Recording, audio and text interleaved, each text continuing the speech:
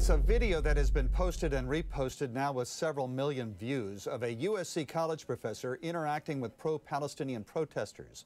The audio claims to have economics professor John Strauss saying that all Palestinians should die. He says no. His comments uh, were that Hamas are murderers. They should die. Uh, he is now teaching his class remotely. He's the subject of a campus Title IX investigation, which is a probe over a violation of the school's anti discrimination policy. So, Professor Strauss, thanks for taking the time. Um, what happened?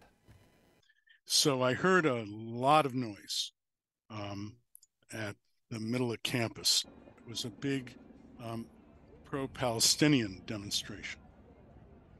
And there was no way around it by the time I got there. So I started walking through and I heard just a lot of screaming and shouting, like death to Israel, cut off Israel from US funds, um, things like that.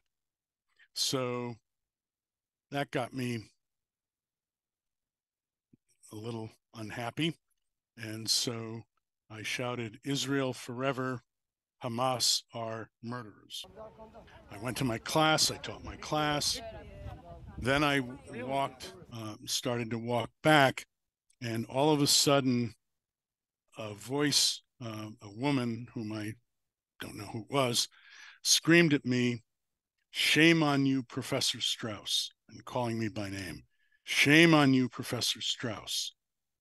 And I called back, No, you were ignorant. Shame on no, shame on you. You were ignorant. Hamas are murderers. That's all they are. Uh, they must be killed, all of them. That's all they are. Everyone should be killed, and I hope they are. And all of them was referring to Hamas.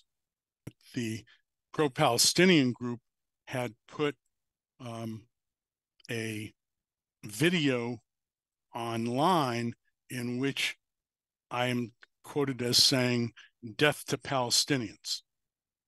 I never said that, ever. I don't, I wouldn't say it. I, I don't believe that.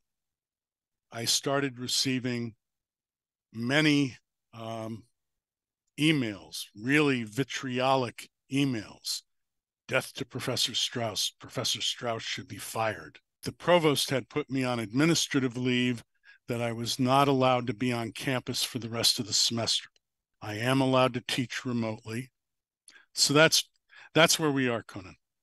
They claim that you walked uh, purposely on a, uh, a, list of names of uh, of those who had died, Palestinians who have died, as sort of a memorial list. That you desecrated that by walking on that uh, intentionally. So when um, when this woman started to yell, Shame on you, Professor Strauss. I started to walk towards her, and doing so, um, probably walked on one or two of these lists of names. And then a couple of people came over saying, telling me what I was doing and got me from, you know, got me out of there. So I didn't do that anymore. Do you have any regrets uh, as to uh, this exchange? No.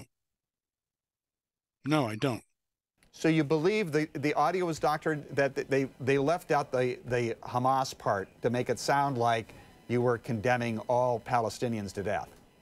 I don't, first of all, I never said that. Second of all, I don't personally believe that. Did they say that you're teaching as re, you're teaching remotely, not not because of a uh, uh, because of what you did, but but in in fear for your safety? That is maybe part of it.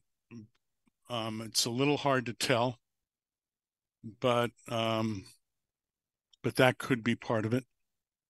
What is your hope from the campus administration? I am very unhappy that the administration is not supporting me um, completely.